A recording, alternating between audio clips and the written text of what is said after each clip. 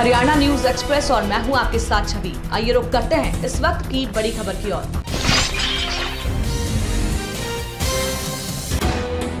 रादौर के कांजुन गाँव में बूचड़ खाने को लेकर दिन प्रतिदिन मुसीबतें बढ़ती जा रही हैं। आए दिन कभी छात्र, कभी समाज सेवी तो कभी अन्य राजनीतिक दल धरना स्थल पर पहुँचने शुरू हो गए हैं।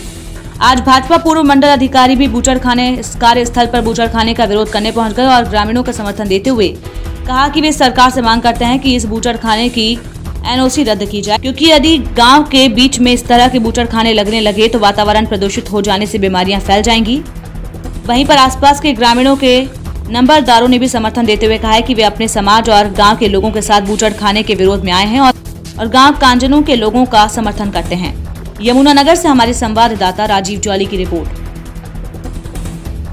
तो मैं विनोद सिंगला भारतीय जनता पार्टी पूर्व मंडल अध्यक्ष रादौर मैं प्रशासन से मांग करता हूँ, हरियाणा सरकार से मांग करता हूँ कि गाँव कांजड़ों में जो ये बुच्चड़ खाना नहीं लगेगा और ना ही लगना चाहिए।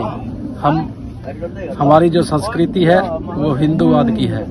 हमारे इस एरिए में कहीं पे भी ऐसा कोई पहले बुच्चड़ खाना नहीं है और ना ही मैं पूरे प्रदेश में चाहता हूँ कहीं ना लगे। हमारे एरिए के जो लोग हैं, उन सब की यही मांग है कि हमारे कहीं भी आसपास कहीं भी बुच्चड़ खाना ना लगेगा, ना लगने देंगे। यह लोगों की ज़ोर ज़बरदस्त डिमांड है। और इसकी जो एनओसी हरियाणा सरकार ने दी है, वो रद्द की जाए, ताकि लोग शांति प्रिय तरीके से यहाँ पे रह सके और अपना कारोबार कर सके।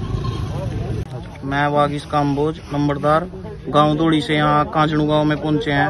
और हम हमें जैसे पता है कि गाँव कांचड़ू में बुच्चड़ खाना सल्टर हाउस लगने लग रहा है तो हम इसका पुरजोर विरोध करते हैं और पूरा गाँव अपने समाज के साथ खड़े हैं और इस बुच्चड़ खाने को किसी कीमत पे लगने नहीं देंगे।